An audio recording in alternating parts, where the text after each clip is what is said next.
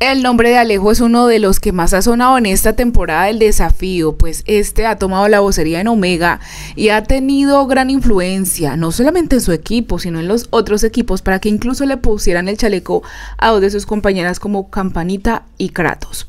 Lo cierto es que este ya se hace llamar el capo, en redes sociales lo llaman así, y hoy Mapi confirmó que Alejo era quien tomaba las decisiones en este equipo.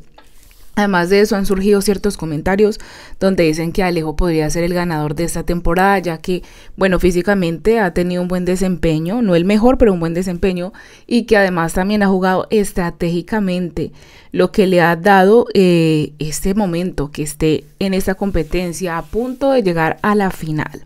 Yo quiero saber cuántos fanáticos cuenta Alejo. Hay mucha gente que lo defiende por frenteros, otros lo juzgan por traicionero.